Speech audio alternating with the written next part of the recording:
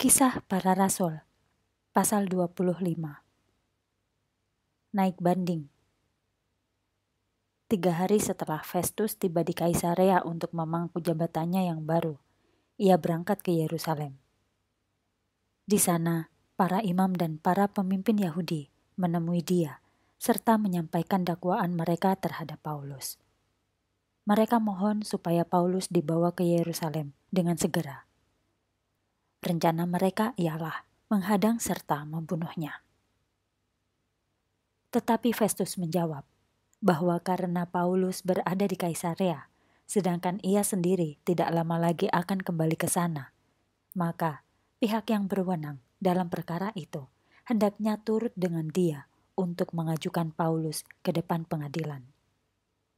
Delapan atau sepuluh hari kemudian ia kembali ke Kaisarea dan keesokan harinya perkara Paulus disidangkan. Ketika Paulus tiba di ruang pengadilan, orang-orang Yahudi dari Yerusalem mengerumuninya serta melemparkan tuduhan-tuduhan yang tidak dapat mereka buktikan. Paulus menyangkal segala tuduhan itu. Saya tidak bersalah, katanya. Saya tidak melanggar hukum Yahudi atau mencemarkan bait Allah, ataupun memberontak melawan pemerintah Romawi. Kemudian Festus yang ingin mengambil hati orang-orang Yahudi bertanya kepadanya, Bersediakah engkau pergi ke Yerusalem untuk kuadili di sana? Tetapi Paulus menjawab, Tidak, hamba menuntut hak untuk dihadapkan kepada Kaisar. Yang mulia tahu sendiri, hamba tidak bersalah. Seandainya hamba telah berbuat sesuatu yang patut dikenakan hukuman mati, hamba rela dihukum mati tetapi hamba tidak bersalah, dan yang mulia atau siapa pun juga tidak berhak menyerahkan hamba kepada orang-orang ini untuk dibunuh. Hamba minta naik banding kepada kaisar. Festus berunding dengan para nasihatnya, kemudian menjawab, Baiklah, engkau telah minta naik banding kepada kaisar, maka kepada kaisarlah engkau akan dihadapkan. Paulus di hadapan Raja Agripa.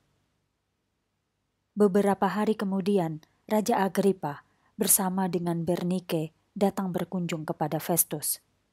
Selama kunjungan mereka beberapa hari itu, Festus mengemukakan perkara Paulus kepada raja.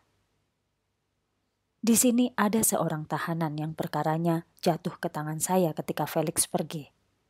Katanya kepada raja, "Ketika saya berada di Yerusalem, para imam kepala dan para pemimpin orang Yahudi datang menghadap serta mengajukan dakwaan mereka terhadap dia dan meminta supaya orang itu dibunuh. Tentu saja dengan segera saya jelaskan kepada mereka bahwa hukum Romawi tidak membolehkan seseorang dihukum sebelum diadili. Ia diberi kesempatan untuk membela diri di hadapan para pendakwa. Ketika mereka datang kemari untuk menghadiri sidang pengadilan, maka keesokan harinya saya menyidangkan perkara Paulus dan memerintahkan supaya dia dibawa masuk. Tetapi tuduhan-tuduhan yang dilemparkan kepadanya sama sekali bukan seperti yang saya duga, melainkan mengenai agama mereka dan mengenai seseorang bernama Yesus yang telah mati. Tetapi Paulus bersikeras menyatakan bahwa ia hidup.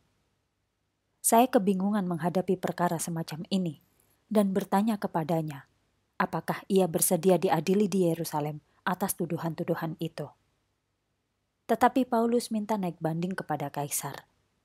Karena itu, saya mengembalikan dia ke penjara sampai saya dapat mengirimkan dia kepada kaisar. Ingin juga saya mendengar orang itu, kata Agripa.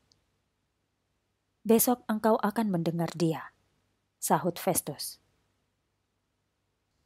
Demikianlah keesokan harinya, setelah Raja dan Bernike tiba di ruang pengadilan dengan segala kebesaran, disertai oleh perwira-perwira dan tokoh-tokoh terkemuka di kota itu. Festus memerintahkan supaya Paulus dibawa masuk. Kemudian Festus berbicara kepada sekalian yang hadir. Raja Agripa dan hadirin sekalian, inilah orang yang dituntut hukuman mati oleh orang-orang Yahudi yang tinggal di sini maupun yang tinggal di Yerusalem.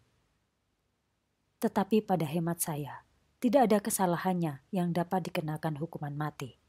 Namun, ia minta naik banding kepada kaisar, sehingga mau tidak mau, saya harus mengirimkannya kepada kaisar. Tetapi apa yang harus saya tuliskan kepada kaisar?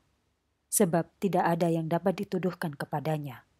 Karena itulah, saya telah membawa dia kepada saudara sekalian teristimewa pula kepada engkau, Raja Agripa, untuk memeriksanya dan memberitahukan kepada saya apa yang harus saya tuliskan. Sebab tidak beralasan rasanya mengirimkan seorang tahanan kepada kaisar tanpa tuduhan apa-apa.